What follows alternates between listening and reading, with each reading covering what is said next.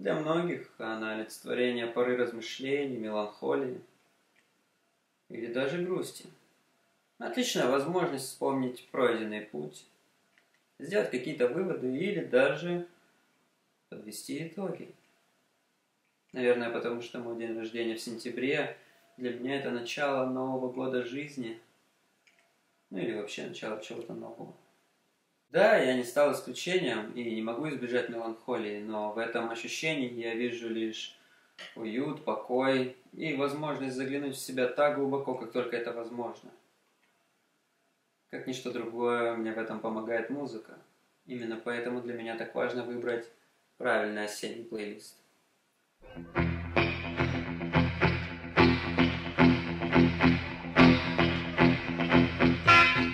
Лоу-фай хип-хоп или чил-хоп стал популярен в конце 2010-го. Его отлично слушать, если надо настроиться на учебу или работу. Его приятный расслабляющий бит не забирает все внимание на себя, а остается на фоне, помогая путешествовать по черпакам разума. Конечно, большего эффекта погружения можно добиться, если слушать его на виниле. И теперь это превращается в ритуал с присущей эстетикой и аутентичными потрескиваниями. Вообще такая музыка задаст атмосферу в любое время года, но как нельзя лучше подойдет осенью.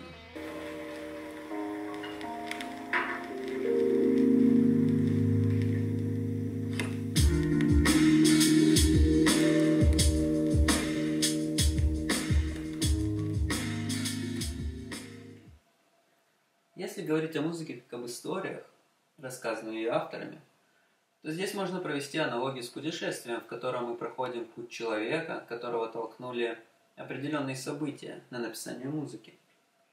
Зачастую яркие события, еще чаще преисполненные грустью и болью. Британская певица Леандра Хавас на своей второй студийной пластинке рассуждает на разные темы, но неизменно возвращается приятной меланхолии и сладкой грусти, в которой она кутается словно лоскутное одеяло. Так в песне «Призрак» она напрямую говорит, что взяла всю вину на себя и превратила боль в серенаду. Что это за боль, мы можем догадаться лишь через занавес метафор, которыми она окружила эту историю любви. Давайте же послушаем.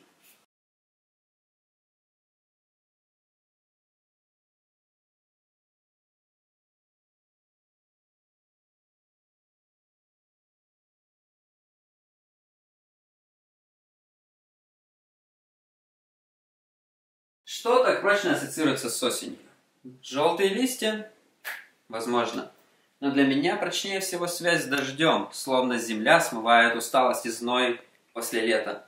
Представим, что за окном буря, а мы завариваем облепиховый чай, кутаем наши надежды и мечты в плед и располагаемся у камина.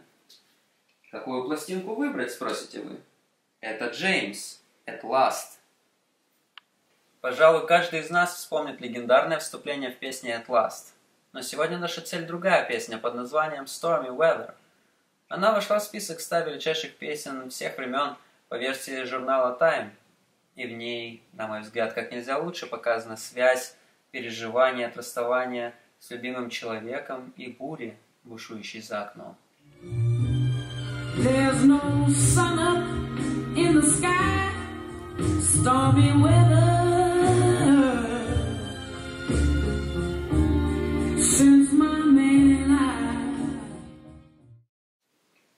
Чтобы вы сейчас уловили мою мысль.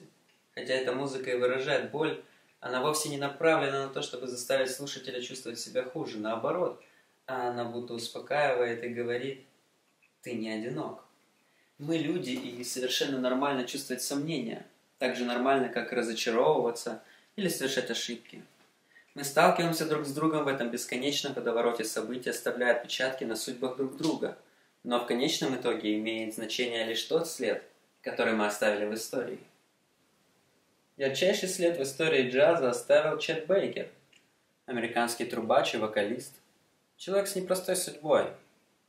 Он оказал огромное влияние на развитие джаза того времени и стал автором множества легендарных композиций, среди которых «Идти сотом», бесконечно осенняя, мелодичная. Закрыв глаза, можно даже увидеть медленно опускающиеся пожелтевшие листья. thank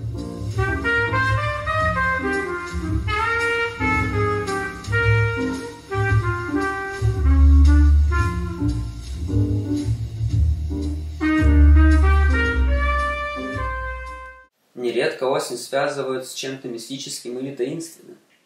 Я, например, в это время люблю пересматривать фильмы Тима Бертона и считаю музыку Дэнни Эльфмана по-настоящему феноменальной. Ему каким-то образом удается создавать идеальный симбиоз мрачной готичности и наивной доброты. Я мечтал об этой пластинке несколько лет, и она идеально передает всю таинственность и загадочность мира, который создал Тим Бертон в своих произведениях. Она так и называется «Мир Тима Бертона». Композитор Дэнни Эльфман.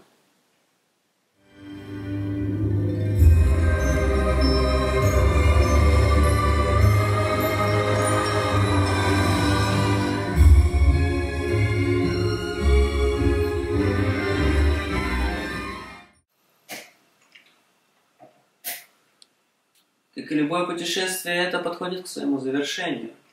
Было ли оно увлекательным? Надеюсь, об этом мне расскажешь ты, дорогой друг. Но мне пришло время пожелать тебе прекрасной музыки, которая скрасит твою осень и, возможно, жизнь. До новых встреч. you